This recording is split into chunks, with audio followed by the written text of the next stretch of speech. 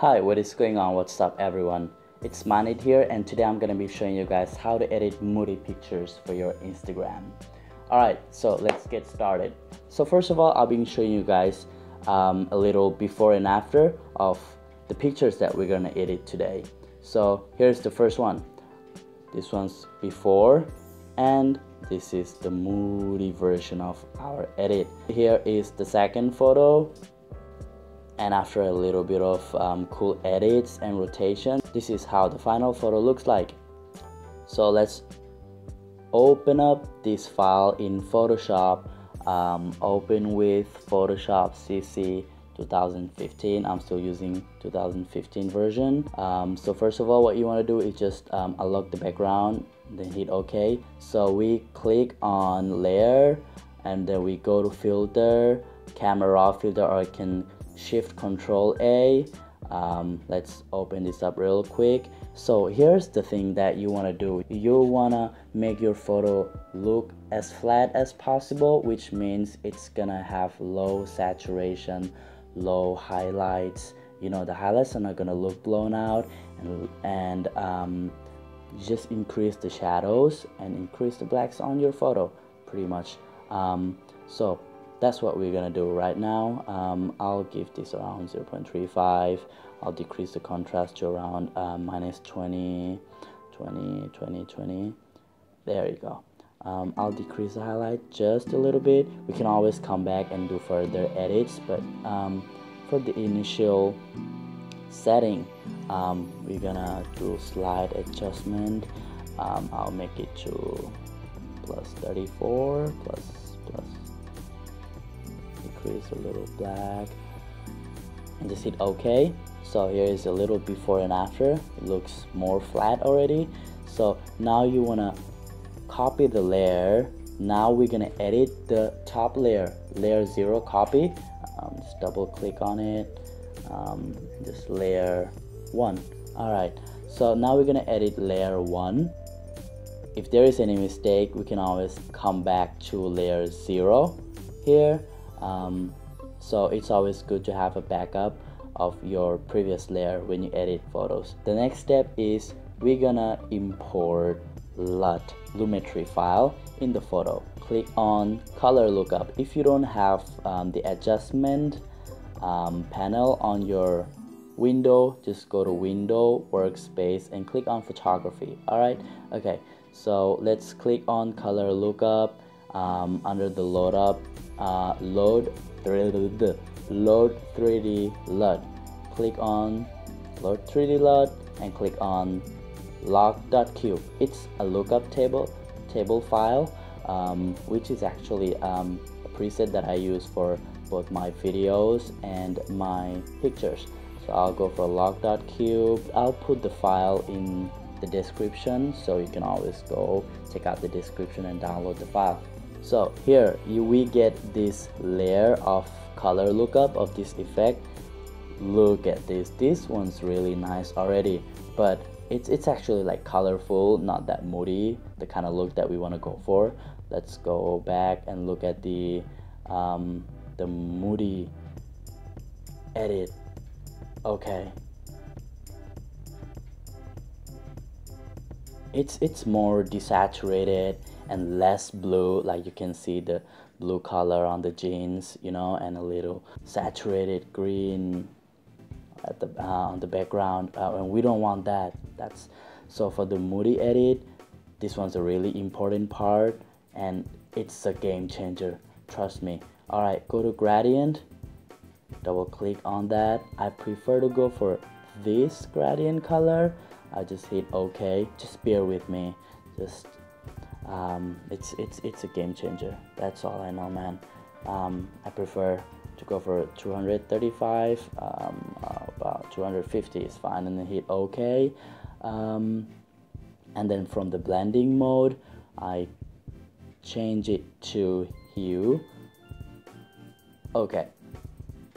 The photo looks really weird right now but by decreasing the sat the opacity to around um, 80 and the fill to around 79 or 80 you can always have your own preference um, of how you want your photo to look but I prefer it to be somewhere around this value okay 80 80 works fine for me for this picture. Um, if you go like 40 no um, 80 is fine. Right. Okay this one looks really good already but here I don't like I don't like um, this part of my face. It's like um, it's not really popped up. It's like really dark. So uh, comparing to um, the rest part of my skin tone my uh, front part of the face is really dark so I'm just gonna uh, click on layer 0 um, and um, control shift A to get this edit panel and click on the radial filter. I'll just create a nice circle around my face pretty much that. Um, I'll keep the saturation zero. Um, I'll just increase the exposure to somewhere around 0.35 um, and then just make sure your feather is 100 100 and the set filter effect goes inside the circle. So that you have the effect inside the circle. All right um, I'll move it somewhere around here near my eyes and I'll hit OK. Let's see. Okay yeah it's way a lot better. So you can see the difference when we um, unclick this eyeball here. You can see the difference of the photo. The next step what you want to do next is we click on curves and bring up the shadow. Bring down the highlight somewhere around there. And on this part of the shadow I'll just bring this down a little more. Um, I'm trying to create sort of uh, an S curve for this photo. Yeah pretty much. It's it's kind of blown out and and I really like um, to give this like this kind of blown out look because it's um, it's a little foggy on the background. Um, what you want to do next is click on these three layers all together and click click Control G. And that's gonna be a new layer a group of layer of our effects. Here is a, the before and after of this photo. Okay here's the layer and before and after boom amazing. Okay let's do the same thing using the different photo. For Instagram let's crop this photo real quick for Instagram. It's 4 by 5 the aspect ratio for Instagram.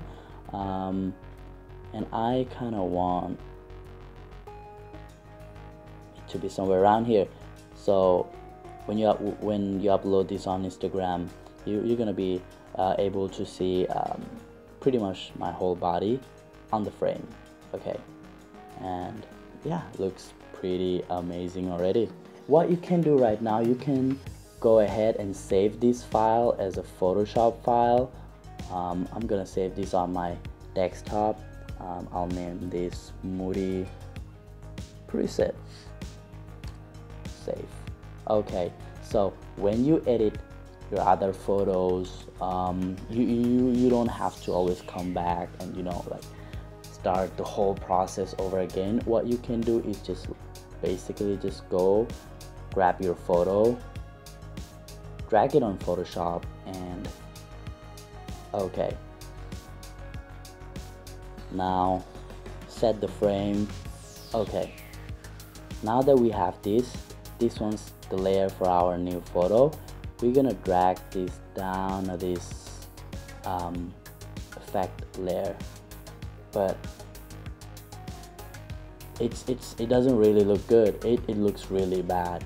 So we actually have to go back to some minor edit with these three layers which can be done in like a minute. So I'll show you guys how to do it. Um, pretty much we're gonna change um, the opacity and fill in our photo.